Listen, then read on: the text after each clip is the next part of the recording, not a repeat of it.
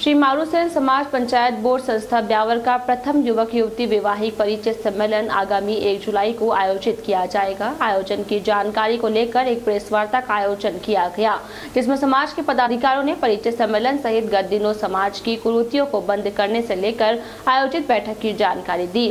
Press वार्ता को संबोधित करते हुए संस्था के अध्यक्ष दिलीप सैन ने बताया कि आगामी एक जुलाई को आयोजित विश्वकर्मा भवन मेवाड़ी गेट पर आयोजित किया जाएगा, जिसमें समाज के विवाह योग्य युवक युवतियाँ अपना परिचय दे सकेंगे।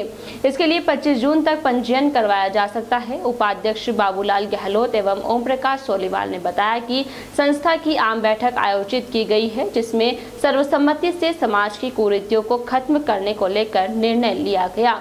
बैठक में सर्वसम्मति से निर्णय लिया गया है कि पहरावनी पूर्ण रूप से बंद की जाएगी।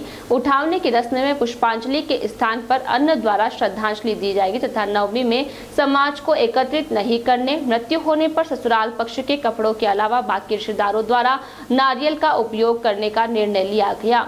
इसके अलावा मृत्यु की स्थिति में आपात कोष पंद्रह हज़ार की राशि जारी करने का निर्णय लिया गया, जिसे बाद में पुनः शोक संतप्त परिवार द्वारा जमा करवा दिया जाएगा।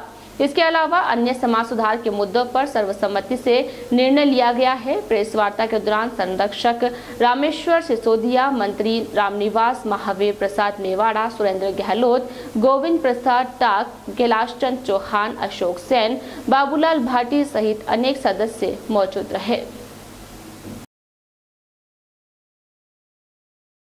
श्री मारू सेन समाज पंचायत बोर्ड संस्था ब्यावर के तत्वाधान में आगामी एक जुलाई 2023 शनिवार को विश्वकर्मा भवन मेवाड़ी गेट के बाहर प्रथम युवक, युवतियाँ वैवाहिक परिचय सम्मेलन रखा गया है। यह कार्यक्रम पहली बार ब्यावर मारू सेन समाज पंचायत बोर्ड कर रहा है। इसमें आसपास के चार से पाँच डिस्ट्रिक्ट के बच्चे बच्चियाँ इस कार्यक्रम में भाग लेंगे और समाज पूरा इकट्ठा होकर के उन कार्यक्रम को देखेगा और सुनेगा। ये हमारा लक्ष्य रखा गया। है